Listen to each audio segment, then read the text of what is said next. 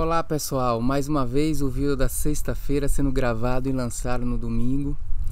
Na sexta-feira eu estava em trânsito e não foi possível gravar esse vídeo, mas chega aqui é, nesse momento para vocês resgatarem isso que vocês tanto me cobram. E eu me nego a tirar o nome Vida da Sexta-feira, porque esse já foi um nome que pegou. E é bom que todos esperem na sexta-feira, mesmo que venha um pouquinho mais tarde. A espera também é boa, né? É, agradeço a provocação dos amigos também, de que muitas vezes eu tenho que gravar os filmes, assim, os vídeos ao ar livre, mudando os cenários. A maioria das vezes eu não faço isso porque é mais complicado trazer a estrutura do computador, arranjar um lugar que a luz esteja boa ou não. Mas aqui tá, um pouquinho, um, um ambiente um pouquinho diferente para vocês. E, é importante que nesse vídeo a gente tenha um ambiente um pouco diferente, porque é, precisa ser um vídeo leve esse, porque eu vou falar de estatística. E erradamente, estatística é visto como um assunto pesado, como um assunto difícil, e eu proponho muito a, a percepção do pensamento estatístico, mais importante do que o conhecimento do detalhe estatístico. Eh, eu proponho muito mais uma cultura estatística da sociedade do que os médicos, abre aspas, médicos precisam aprender estatística. Quando eu falo médicos, me refiro também a profissionais de saúde que podem estar ouvindo esse vídeo. Uh, e a gente ouve essa, digamos, reclamação, às vezes, dos entendidos, de que médico precisa uh, ter no currículo médico mais um, um, conhecimento, um aprendizado estatístico. E aí eu coloco dois pontos. Em primeiro lugar, a, a importância da cultura estatística não é só na medicina, é na sociedade como um todo. Assim como eu que, desejo que um médico entenda de incerteza para tomar decisões, eu desejo também que um político entenda de incerteza, que um economista e etc. Então, essa é uma, uma obrigação da sociedade como um todo. Segundo, que eu acho muito uh, equivocado dizer que isso cabe ao curso médico. Na, na, medida em que isso é uma coisa básica e devia estar tá sendo transmitido, ensinado e implementado na cultura desde o ensino primário esse tipo de pensamento estatístico ou reconhecimento da incerteza. Mais do que o pensamento probabilístico, quando a gente fala de estatística aplicada à observação e a observação ser traduzida para alguma coisa que poderia ser a verdade na população, a gente precisa entender mais de incerteza. E é esse esse o ponto que eu quero explicar nesse vídeo que eu intitulei aqui o que é estatística. E é um vídeo voltado para a sociedade. Esse é um pensamento que precisa existir na sociedade. E eu vou começar de, fazendo uma perguntinha. Vocês sabem qual é o livro de estatística mais vendido no mundo? O livro de estatística mais vendido no mundo foi lançado em 1954 por um jornalista é, chamado Darrell Huff. E o título desse livro é Como Mentir com Estatística. Como você mente com estatística? How to Lie with Statistics. Eu tenho esse livro original que eu comprei num sebo quando eu visitei uh, uns 10 anos atrás a, a, Universidade de Emory e tinha lá, eu tenho esse uh, o original do livro, páginas ainda em, já envelhecidas e ele é ali uma uma coisa importante, mas foi depois que eu descobri que, que esse é o livro mais vendido de estatística. Né? E veja então que coisa, o ensino da estatística é uma crítica à estatística.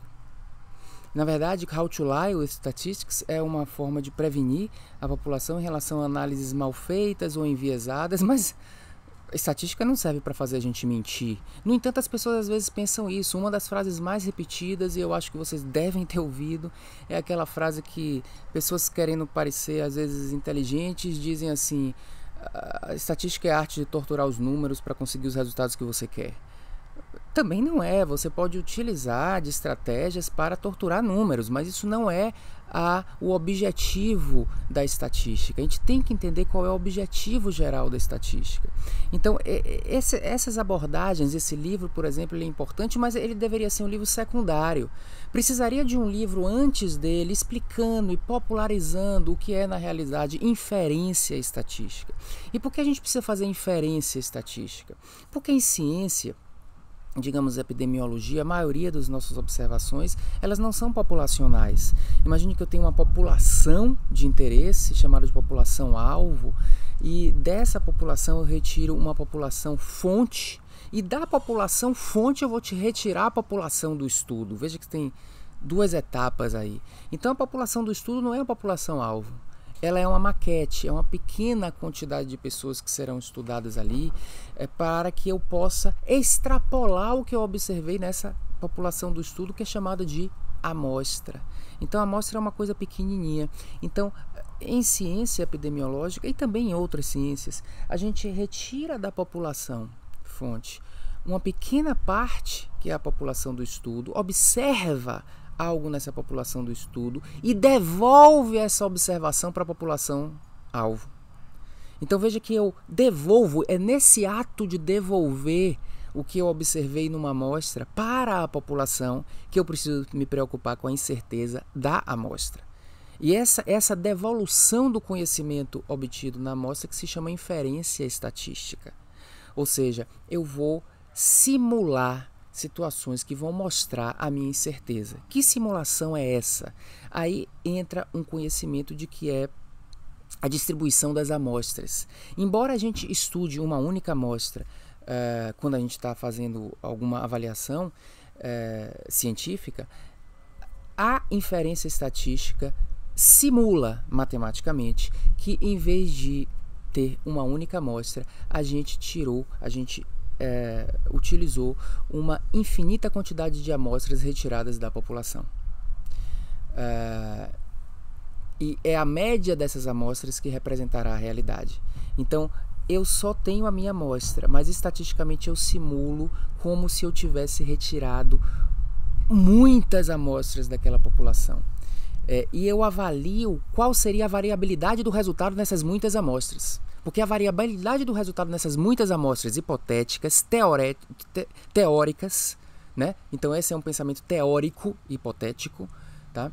A variabilidade do resultado nessas muitas amostras que eu teria tirado, ele representa a minha incerteza. Porque se eu tiro uma amostra e tenho um resultado, eu tiro uma segunda amostra, o resultado não vai ser idêntico. Então veja como é esse o reconhecimento da incerteza e que matematicamente você simula essas muitas e muitas e muitas amostras. Como?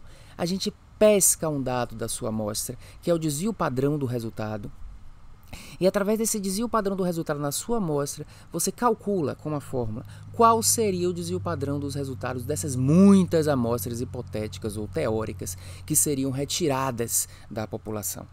Então, a inferência estatística tem essa elegância de dizer, olha, não bastaria um estudo só.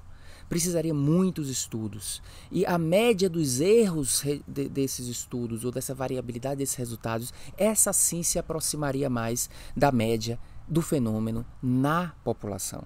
Isso é inferência estatística. Uh, e como eu disse, essa técnica é teórica, ela é matemática, não precisamos explicar isso aqui, mas apenas o conceito. Mas em 1979, um estatístico descobriu uma nova técnica. Brad Efron, ele publicou no Annals of Statistics, e eu tenho esse artigo também seminal. Eu vou colocar o link desse artigo para vocês. E ele publicou a técnica do bootstrap. No bootstrap, você faz isso que eu falei teoricamente, de fato, tirando várias amostras da sua amostra. E e é capaz de, com Bootstrap, você tirar a média dessas amostras. Como? Veja que, que, que estratégia inteligente. É a estratégia de reposição. Ou seja, imagine que a população, a população como um todo, é, seja feita de 200 pessoas. E eu retiro uma amostra de 10 pessoas. Essa é a minha amostra, 10 pessoas. Eu vou observar nessas 10 pessoas e vou devolver o que eu observei para essa população de 200 como conceito. É, isso é inferência estatística. Mas é, que tal eu pegar essa minha amostra de 10 pessoas, que é, que, é, que é a quantidade de pessoas que eu consigo estudar, eu não consigo estudar as 200 todas. Essa amostra de 10 pessoas e fazer mil amostras a partir dessa amostra de 10 pessoas. Você pode fazer isso pela técnica do Bootstrap, desde que você use a reposição. Ou seja, des, desses 10 pacientes, vamos dizer que serão pacientes, eu consigo retirar uma outra amostra de 10 pacientes. Como? Eu sorteio o primeiro paciente, registro ele como um paciente com suas características e eu devolvo ele para essa minha amostra de 10. Aí eu sorteio de novo. Então, fazendo esse sorteio, desde que eu devolvo aquele paciente, os pacientes que vão sendo sorteados para a amostra fonte, fazendo esse sorteio 10 vezes, eu consigo uma outra amostra de 10 pessoas que não é igual à minha amostra original de 10 pessoas. E você pode fazer isso com Bootstrap, com computador, mil vezes. Então você tira mil amostras da sua amostra de 10. E aí você tira a média desses mil dessas mil, mil amostras. Isso aí traz uma precisão estatística. Então, dessa maneira, seja da maneira teórica, seja da maneira do bootstrap, a gente pode responder a seguinte pergunta. Veja que esse é o momento mais importante. Se, em vez de fazer um único estudo, eu tivesse feito mil estudos, ok? Quais seriam os resultados desses mil estudos, qual seria a variabilidade dos resultados nesses mil estudos. E aí entra um conceito que é o intervalo de confiança, né, 95%, que eu diria assim, dos mil estudos que eu fizesse, ok? Em, 90, em 950 os resultados estariam nesse intervalo. Esqueça os outros 5% que eles, que eles são resultados muito extremos, mas hum, pelo menos em 95% dos mil estudos que eu fiz, eu, vou, eu estou afirmando que o resultado estaria nesse intervalo, que é o que se chama de intervalo de confiança, intervalo de incerteza, intervalo de certeza, e que essa é a inferência estatística, é o reconhecimento da incerteza. Então, quando a gente vai para o mundo, para a sociedade, eu posso entender que se eu vou num restaurante e eu gosto do restaurante, a minha amostra foi de uma experiência naquele restaurante. Teoricamente, eu não deveria recomendar. Eu tenho uma amostra de um pode ter sido por acaso que naquele dia eu fui bem atendido. Mas se a gente vai no restaurante, a experiência é muito boa, a gente tem vontade de generalizar a nossa experiência. Como médico, eu posso tratar um paciente com uma tecnologia não demonstrada ainda cientificamente enquanto benéfica, mas esse paciente teve uma experiência muito boa, ele ficou bom, ele sobreviveu. A gente tende a considerar que aquele tratamento é eficaz. É isso que nós, sociedades, médicos, profissionais de saúde, precisamos entender a respeito da incerteza. Então é alguma coisa mais cultural do que um elitismo de conhecimento de matemática. Não me venham dizer que um médico, para fazer um raciocínio de probabilidade condicional, condicional precisa saber o teorema de Bayes. É chato, eu não tenho na cabeça, quando eu preciso eu tenho que olhar um papel, porque não é isso que leva ao raciocínio. Nós temos que entender que pensamento não é a mesma coisa que uh, cálculo matemático. E o médico não precisa saber cálculo matemático. Claro que o médico que é pesquisador também, ele precisa entender um pouco mais do que eu estou explicando aqui. Mas muitas vezes o pesquisador sabe fazer testes estatísticos, mas não entende o que eu falei aqui. Ele não valoriza a incerteza, ele é um mero pesquisador, ele não é um verdadeiro cientista. Então tudo isso é importante. A discussão do que é estatística e do como a sociedade precisa ver estatística é, é um, uma questão mais de entender o valor disso do ponto de vista de olhar o mundo e tirar conclusões do que detalhes matemáticos.